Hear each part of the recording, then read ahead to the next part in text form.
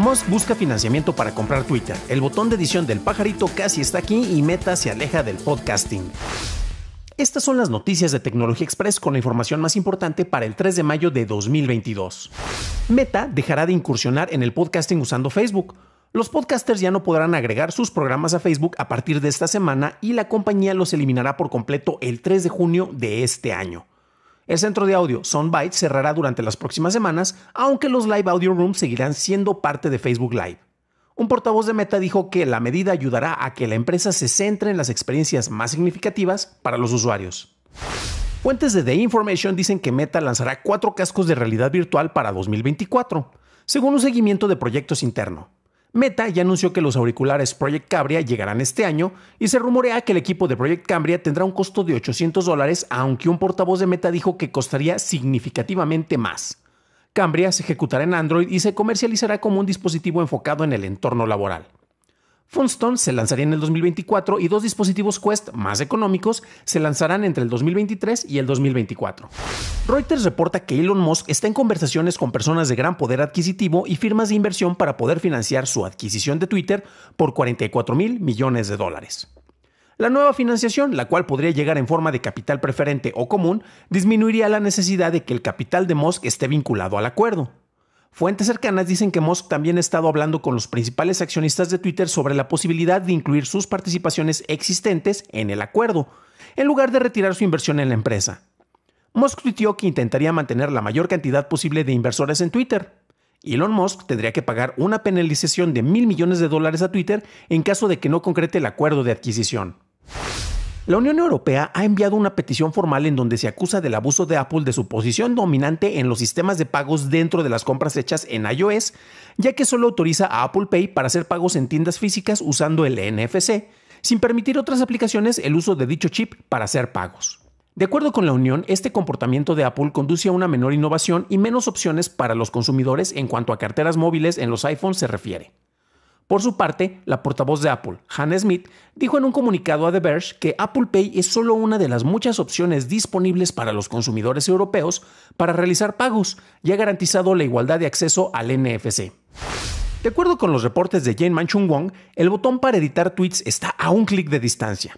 La especialista compartió en su cuenta la manera en que se utilizaría esta función de edición con la que contarás con 30 minutos después de publicar el tweet original para editarlo. El tweet resultante mostrará una etiqueta de editado al lado de la fecha de publicación y se mostrará el historial de ediciones.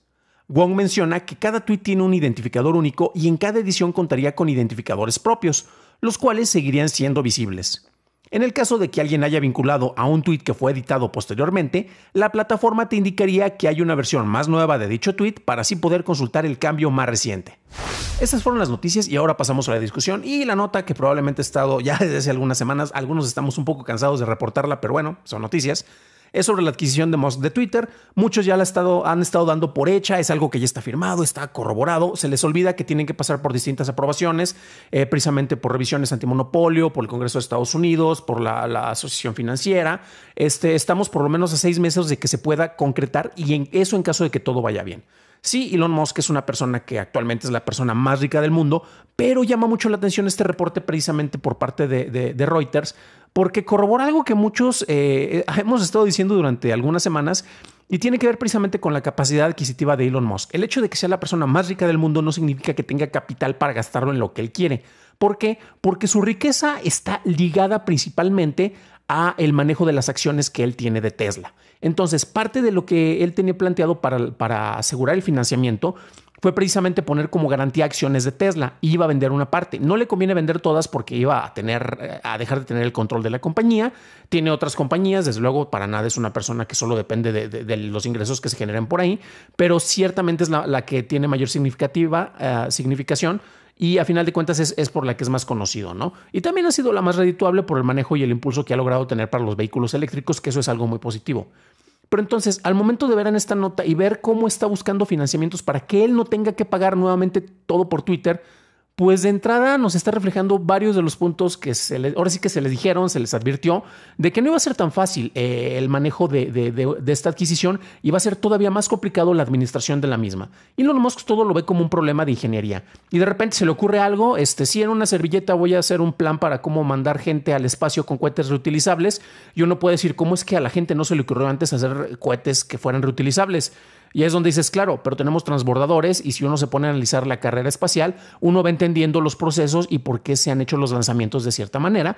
Y no, eso no significa que no se reutilicen piezas, sino que simple y sencillamente se, se, planteaba utilizarlo gracias a la compañía de Elon Musk de una manera un poco más activa con el reciclaje. ¿no? Y se dio un montón de encontronazos, eh, un montón de científicos que, estuvo, que lo estuvieron ayudando, que han dado incluso entrevistas, decían, pues es que trata de hacer las cosas, pero no entiende que hay un proceso de ensayo y error y él cree que ya nada más con planearlo todo es como si haces un agujero y sale petróleo mágicamente, va, avientas un cohete al espacio y va a llegar bien, ¿no? Entonces, y es parte de la mecánica que Musk refleja en todas sus compañías, en todas sus adquisiciones, es parte de su proceso y en algunas ocasiones le digo muy bien, en otras no tanto. Y concretamente por el proceso de adquisición, pues bueno, ahora lo que está haciendo es que va a ser una compañía eh, pública o privada bueno, si ya no van a estar accionistas pudiendo ah, ser parte de la compañía, va a ser una compañía privada, que es lo que él planteaba. Y nuevamente, esto es algo que el mismo Jack Dorsey decía desde hace tiempo, que él hubiera hecho muchos cambios dentro de la compañía. Jack Dorsey, uno de los fundadores precisamente de Twitter y que fue su CEO hasta hace algunos meses. Y eh, pues bueno, si entra Elon Musk y que decía, yo ya tengo en mente quién podría ser el nuevo CEO. Algunos, como ya especulábamos, que tal vez si le hiciera caso a lo que eh, Jack Dorsey quería hacer en ese momento, o que Jack Dorsey regresara, podría ser positivo ahora que ya tiene todo el control. Pero resulta que momento de ver los financiamientos, Elon Musk se da cuenta de que mm, sí, soy la persona más rica del mundo, eh, pero mi riqueza está asociada con el manejo de las acciones y sería bueno que yo no pagara y que yo no tuviera todo ese peso precisamente sobre la compra de la empresa. Entonces, por eso está buscando otros financiamientos. Eh, a ver si esperemos que no pase algo como con WeCrash, que fue uno de los top 3 startups, uno de los top 3 unicornios en su momento, eh, con WeWork, perdón, este, de la serie WeCrash, que se basa en este startup en el cual básicamente estás rentando espacio de trabajo, aunque ellos dicen que es una plataforma tecnológica, pero pues no, no lo es, es vendes con una aplicación o con una plataforma espacios de trabajo, pero eso no hace que sea una plataforma tecnológica, pero bueno, eso es otra historia. Y resulta que sí tenías este, mucho dinero, era una de las personas que tenían mayor, si iba a un banco, pues prácticamente todo el mundo le iba a ofrecer este capital, pero no tenía nada que fuera sustentable. En este caso, Musk tiene varias empresas, eh, efectivamente tiene manejos para de dónde agarrarse, pero no quiere entregarse tan completamente por la adquisición de algo que nuevamente es un juguete que a él interesa poseer y que honestamente no sabe cómo se maneja. Mencionaba sus aspectos sobre el manejo de ingeniería, porque en este caso estamos hablando de ingeniería social. Y el problema que se va a dar cuenta en el caso de que concrete la adquisición, yo soy de los escépticos que creen que eventualmente no se va a lograr. Sé que es altamente probable que se concrete, así que probablemente me equivoque en esto, pero algo me dice que no se va a concretar esta compra, como algunas de las otras cosas que ha plantado Elon Musk en el pasado también. Pero la cuestión es que cuando trabajas con ingeniería social, no te debes de enfocar en el, en el aspecto de la ingeniería, te debes de enfocar en el aspecto humano o en el aspecto social.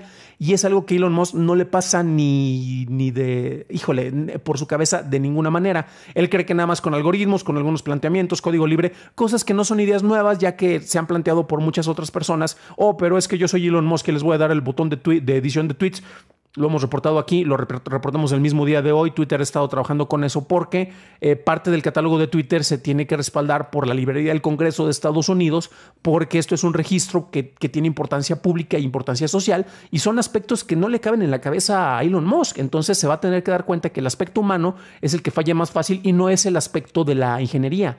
Entonces, pues bueno, ya veremos qué es lo que ocurre con eso. Perdón por mi rant contra Elon Musk, pero bueno, este, son algunos aspectos que llaman la atención y curiosamente las noticias como que nos están llevando un poco para ese lado. Pero bueno, ustedes cómo ven esto, eh, creen que Elon Musk debería de vender eh, todas sus acciones este, precisamente para que él sea el dueño total y absoluto de una empresa y eh, o creen que no, que debería de tener una participación. Y antes precisamente de despedirme, si nos están acompañando en video, chequen por favor, este, estamos compartiendo también las imágenes de el manejo de acciones. Y es que el problema con que algo se financie con el, el potencial que tienen las acciones es que la acción de Tesla es muy volátil. Eh, de repente Elon Musk hace un tweet y habla de criptomonedas y Dogecoin subió y luego baja, este Bitcoin sube y luego baja. Eh, nuevamente es parte del mal manejo que tiene y de la falta del conocimiento y de manejo de responsabilidades que tiene Elon Musk en plataformas sociales. Por eso es el cheat poster más famoso que quiere comprar el circo más grande del mundo, pero bueno. Y por ejemplo, si vemos el manejo de las acciones, que aquí lo estamos mostrando en video, si no, pues pueden buscarlo en Google. Eh, en el caso de Tesla, pues vemos que no es precisamente una compañía sólida, sí ha tenido crecimiento, pero vemos que tuvo una tremenda caída eh, que fue en el 21 de febrero del 2022. Luego tuvimos un gran pico por ahí, llegó a los 1.084 dólares por acción en el 28 de marzo y ahorita nuevamente va la caída. Eh, tuvo su pico máximo histórico, fue a finales de el primero de noviembre, perdón, del 2021 es donde tuvo su máximo histórico. Entonces, eh, el garantizar este tipo de, movimientos con las acciones, eh, ojo, porque al vender muchas acciones, entonces, estas, ¿qué es lo que va a ocurrir? Dependiendo incluso de lo que tuitee Elon Musk, porque así es como lo ha manejado, puede subir, puede bajar el precio de la acción. Es algo muy volátil, es algo que no es muy confiable, aunque te digan los asesores de inversionistas eh, que te conviene comprar acciones de, Tesla. Ojo, yo no doy consejos financieros, yo no tengo acciones, al menos en esa compañía, entonces tampoco me busquen para este tipo de consejos, pero no es precisamente conveniente, a menos que tú estés dispuesto a de que, claro, voy a invertir, veo que sube, en ese momento vendo y pues vas a estar jugando con el mercado de una manera más tradicional, pero pues bueno, así es como se maneja. Curiosamente, si comparamos esto con eh, cómo han estado las acciones de Twitter, que nuevamente las pueden buscar allá, o si nos están viendo en video, aquí estamos viendo la gráfica de todo el histórico de Twitter, por allá del, 2013 es donde tuvo uno de sus puntos máximos, luego llegó a distintas llanuras donde no evolucionaba, ha tenido otra vez nuevo, nuevamente picos, ha llegado a estar en 77 dólares la acción en comparación con eh, lo que se estaba ofreciendo y el precio con el cual este, el, muy divertido Elon Musk, haciendo referencias a la marihuana, eh, ofreció precisamente para pagar por las acciones. Actualmente estamos en 49 dólares, lo cual está, eh, pues no exactamente la mitad, pero muy cercano a la mitad del costo que tuvo en su momento la acción este de, de, Twitter. Y es interesante porque cuando se hizo la, oferta, la oferta de compra, eh, pues de repente tuvo una caída en las acciones. ¿Qué significaba esto? Que si efectivamente los inversionistas creyeran que se fuera a concretar la compra de las acciones de, de, Twitter para que se comprara toda la empresa en sí por parte de Elon Musk, pues este, hubiera tenido otro tipo de efecto en el mercado, cosa que no tuvo. Pero bueno, chequen los gráficos, no me crean a mí, yo no doy consejos financieros, reporto las noticias de tecnología y de vez en cuando hago un rateo como este en contra de Elon Musk. Para una análisis más a detalle en inglés, visita nuestro sitio hermano dailytechnewshow.com en donde encontrarás notas y ligas a las noticias. Si encontraste útil la información de este episodio, recuerda que me lo puedes dejar saber dejando un like en su versión en YouTube o dejándonos una calificación en Spotify, en Apple Podcast y nos puedes encontrar en cualquier lugar en donde se escuchen podcast. Eso es todo por hoy, gracias por acompañarme, nos estaremos escuchando en el próximo programa y te deseo que tengas un magnífico martes.